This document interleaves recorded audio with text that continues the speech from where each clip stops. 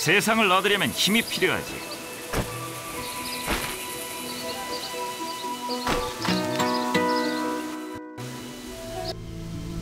여기서 서쪽으로 가다 보면 피글링들이 출몰하는 벌판이 있네. 뾰족나무 베카스는 거기에 있지.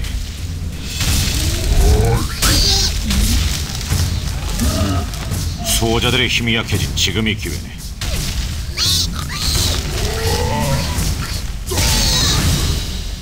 녀석을 처치해주게.